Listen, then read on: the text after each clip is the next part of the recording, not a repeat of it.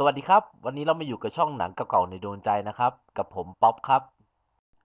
วันนี้ผมก็อยากจะมาชวนเพื่อนๆมาดูหนังแนว comedy กันบ้างนะครับ กับหนังเรื่อง Hitch พ่อสื่อเฟี้ยวเดี๋ยวจัดให้ เป็นหนังแนวความรักตลกนะครับกำกับโดยแอนดี้ เทนแนนต์แสดงนำโดยวิลสมิธรับบทเป็นอเล็กฮิทเชนและเอวาเมนเดสรับบทเป็นซาร่ามิลเลอร์ พระเอกของเราเนี่ยจะมีอาชีพเป็นพ่อสื่อนะครับ หรือในเรื่องจะรู้จักกันในชื่อ Date Doctor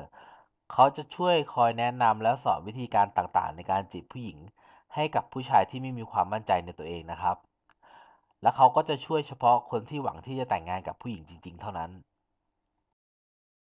งานของพระเอกก็จะเป็นไปได้ด้วยดี จนกระทั่งได้มาเจอกับนางเอกซาร่ามิลเลอร์ เธอทำอาชีพเป็นนักเขียนข่าวแนวซุบซิบ ที่ต้องการจะตามหาและเปิดโปงว่า Date Doctor คือใครทำให้เกิดเรื่องราวต่างๆขึ้น ถ้าใครยังไม่ได้คิดว่าจะดูหนังเรื่องอะไรก็เอาเรื่องนี้ไปดูกันนะครับ สนุกและอมยิ้มแน่นอน ถ้ายังไงก็ช่วยกดติดตามและเป็นกำลังใจให้ด้วยนะครับ ขอบคุณมากครับ